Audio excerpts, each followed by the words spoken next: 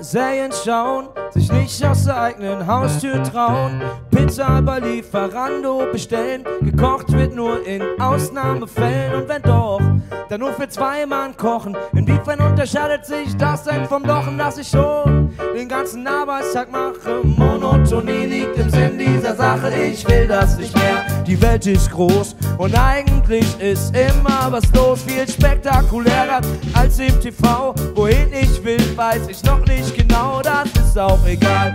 Herr, das Gepäck, das Einzige, das ich will, ist weg, weg, weg von all dem Trotz hier zu Haus. Ich will nur noch eins, ich will raus, ich will raus, weg von all dem Trotz hier zu Haus.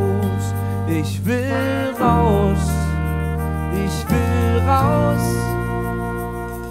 Wohin weiß ich noch nicht genau.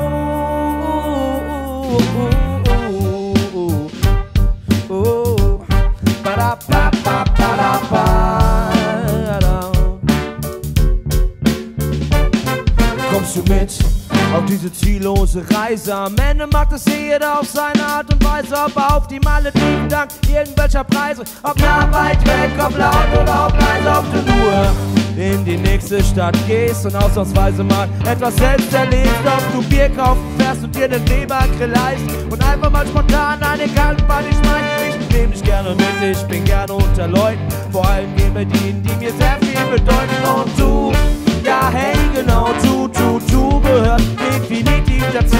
deshalb lass uns los, lieber heute als morgen, du musst auch nicht mehr los, irgendetwas besorgen, nimm meine Hand, lass uns weg von zu Hause, ich will nur noch eins, ich will raus, ich will raus, weg von all dem Trotz hier zu Haus, ich will raus, ich will raus.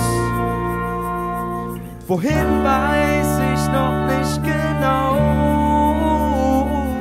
Ich will raus von all dem Trott hier zu Hause. Ich will raus, wohin weiß ich noch nicht genau. Und weil ich wirklich überhaupt gar keinen Plan hab, setze ich mich ins Auto und fahr einfach die Straße lang. Ohne Ziel vor den Augen, ziemlich planlos durch die Gegend. Aber was soll schon passieren? Du, ich lebe halt mein Leben. Zu Hause ist zwar schön, ja, zu Hause kann man ewig bleiben. Aber ich muss raus, also stell ich mir nicht selbst das Bein. Weitermachen wie bisher, das ist mehr möglich. Wenn ich so weitermache, endet das bald wirklich glücklich. Also entscheide ich mich, die Welt zu erkunden. Aber nicht alleine, nein, ich mach das mit den Jungs. Hey, Meer oder Berge, wohin es geht, ist echt egal. Wir haben das Glück, wir haben die Qual der Wahl, wir haben sehr viel Freude, unter anderem auch am Speisen. Und wir gehen jetzt doch endlich wieder häufiger auf Reisen, tolle Sachen erleben, wieder Spaß mit den Jungs haben. Papierchen heben am nächsten Tag mit Vater rumplagen. So soll das sein, genau so ist das für uns vorgesehen. Und wenn's da rund geht, kann der Ausflug immer so weitergehen.